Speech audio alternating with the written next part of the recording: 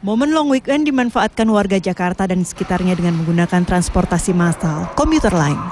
Di stasiun Manggarai, rombongan penumpang lalu lalang berpergian ke tujuan masing-masing. Jika biasanya pada hari kerja stasiun ini melayani sekitar 800 ribu penumpang, di hari Jumat ini suasana stasiun kereta terpantau cukup lengang.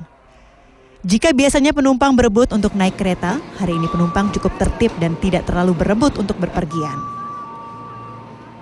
Aku dari kebetulan dari pasar Minggu, terus mau pergi sama ada sama mama mau ke daerah Sudirman.